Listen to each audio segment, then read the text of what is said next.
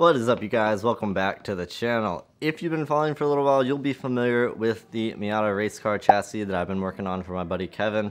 And this video was actually supposed to be the video of me painting it, and it didn't exactly go quite to plan. It ended up being a lot harder than I thought it was gonna be, which is why I didn't end up recording anything after what you just saw. But the car is done, it did come out good. I'll drop some pictures right now. So now I wanted to take this video and kind of turn it into my thoughts on these inflatable boosts and some recommendations I have if you wanna do some DIY paintwork like this on your own at home and maybe are thinking about getting one of these boosts. So first of all, one of the things that I noticed right off the bat when I started working on this car is these type of boosts are not really designed to handle a job of this size. Now physically, the Miata fit in inside the booth fine. If you had any bigger car, you'd want to go with a bigger booth. I didn't get the biggest one I could. So size-wise, it fit in there fine. There was room to work around the car and spray everything but where it's lacking is it does not have exhaust like a real paint booth would. The booth does have filters, which is nice, and it also has an extra fan that is supposed to circulate air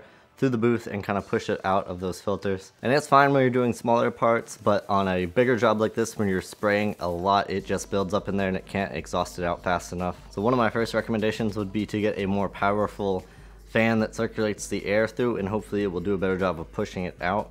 Or what I did, and has seemed to work out decently well, I bought another fan on Amazon that is supposed to extract. It comes with a good sized tube that attaches to the end of it, and basically what it does is it pulls air out and blows it out that tube.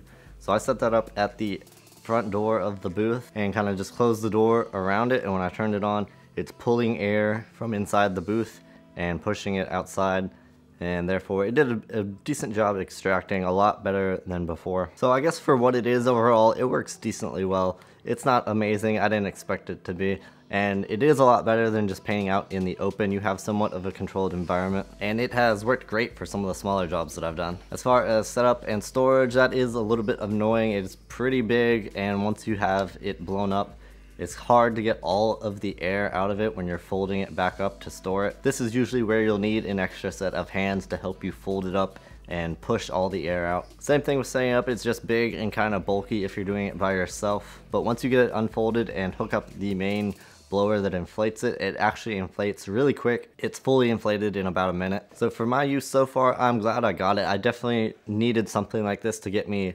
through that big overall paint job on Kevin's car. And it's really nice to have for the smaller jobs, but for me, it's not gonna be a permanent solution. But if you don't do as much paintwork as I do, this could be a great option for some DIY stuff at home here and there, especially if you don't need to paint a whole car. If you do need to paint a whole car, I would recommend getting the biggest size they have because the size that I got, I think it's 23 by 13 by 11. The Miata just barely fit in there. Any car bigger would not have worked. So I would definitely get the biggest size they have. I would think about upgrading that blower that circulates the air and possibly even getting another fan to do exhaust. Definitely a decent option for DIY once you get it set up right. Another thing to keep in mind is make sure you're not pulling too much power once you have all these blowers plugged in because if you do happen to pop a breaker, which I did a couple times, I had to switch some things around onto different circuits because if you do pop a breaker and the main blower goes out, the booth will start deflating very quickly.